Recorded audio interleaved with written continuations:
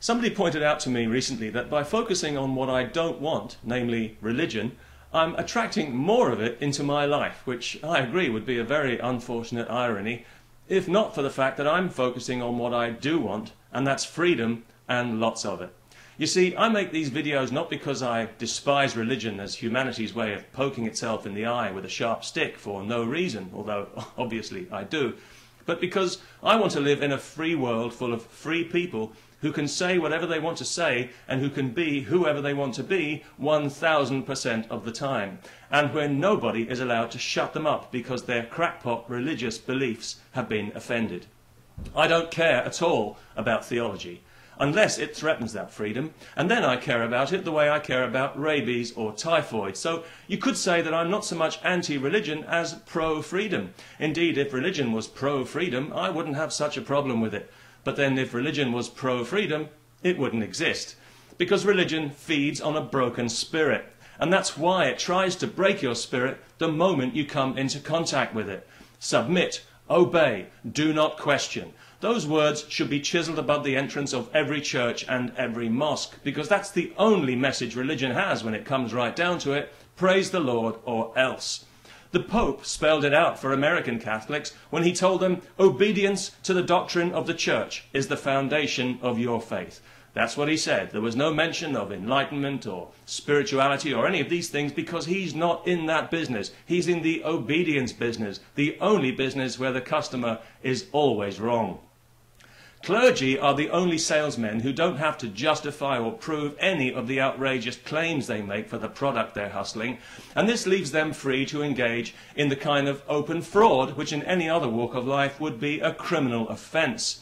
For the level of investment they demand from us, I believe we're entitled to expect actual enlightenment and wisdom in return. Instead, what do we get? We get dogma, crude coercion, and endless empty pieties about the love of a God who clearly loves us the way a violent husband loves the woman sitting next to him with two black eyes. If we step out of line, we pay in the most brutal way.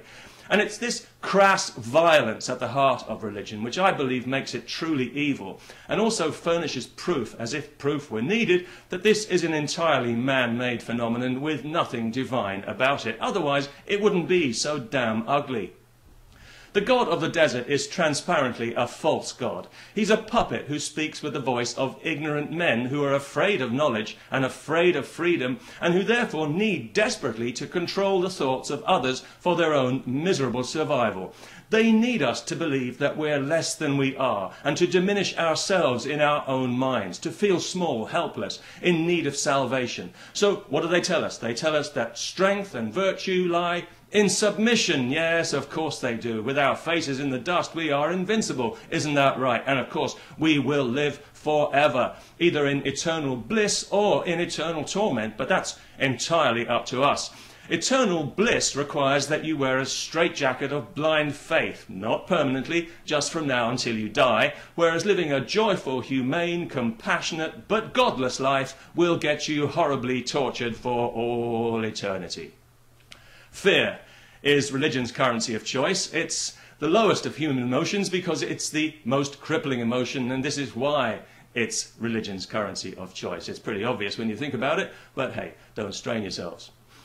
But actually, it's religion that has everything to fear because it depends on maintaining the illusion, maintaining the spell, and hoping that nobody manages to burst its artificial bubble of faith. And this is exactly why it wages such determined war on our basic freedoms of thought and speech. But it's losing this war because every day more and more of us are waking up to the damage that this nonsense is doing to our world. We can see our societies being twisted out of shape, being injected with false values that pander to bigotry and superstition, and we realized that this God of the desert has outstayed his welcome and become a liability. And quite frankly, he needs us a lot more than we need him. Because we've moved on from the desert and we've discovered a few things about the world and the universe and our place in it. And we're no longer afraid of the thunder and lightning. Our world is no longer populated by demons and hobgoblins and we no longer need to be led around by the nose for the benefit of clergy.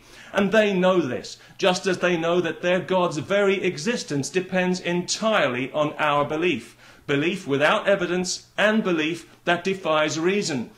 And when that belief disappears, as one day it certainly will, this ridiculous God will disappear with it, instantly and forever. He won't be able to vent his wrath or visit retribution on anyone, because he won't exist. He'll evaporate quicker than common sense in a creation museum, and his vast army of controlling, parasitical clergy will find themselves briefly, cartoon-like in mid-air, before dropping like fleas into a bucket. That's what I'm looking forward to, and that's what I'm focused on, and it's why I make these videos, because I think we're better than this, and I know we've got the power to withdraw our belief and our consent and put a stop to this nonsense. All we need is the courage. Peace and freedom. Let's not forget the freedom.